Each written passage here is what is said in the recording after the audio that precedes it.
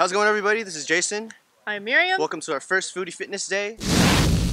We're gonna have some fun competitions, games, chubby bunnies, pull-up competitions. Push-up contest. See you soon. Hi, we're at Foodie Fitness Day. It's gonna be filled with fitness, food, and competition. Oh, and a lot of fun.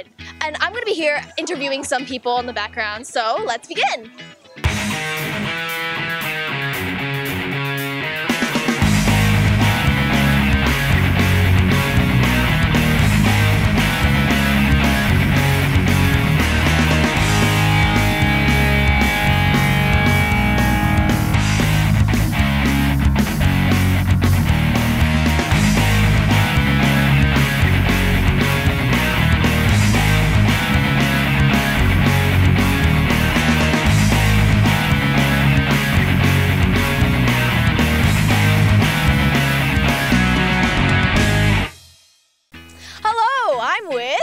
Michael. we're with Willie. Jonathan, Eric. Victor, Marcos, Enoch, Trusted. Alex, Wilfred. it's Richard, Tijan?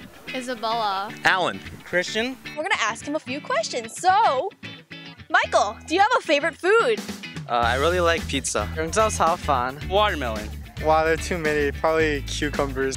Tacos. Tacos! Do you have some fitness goals? Uh, just to be healthy. Uh, right now, I'm just trying to put on some muscle as well as take off some fat. I want to be the number one video game player so that my fingers are strong. Back at school, I really want to win my IM league, IM basketball. So I'm gonna put in a lot of work this summer, and we'll see how it goes. stay in shape and just keep my six pack and everything. I kind of want to be like Arnold Schwarzenegger, you know, like just extreme. Do you exercise? A little bit, just a little bit. Yes, I do. Yes, I go to the gym every day, lifts. A little bit here and there. Uh, I like doing push-ups. When you hear the words foodie fitness, what do you think of? I think of like a really buff guy squatting like five plates and eating a lot of food at the same time. Um, that means eating what you like, but knowing to treat your body right.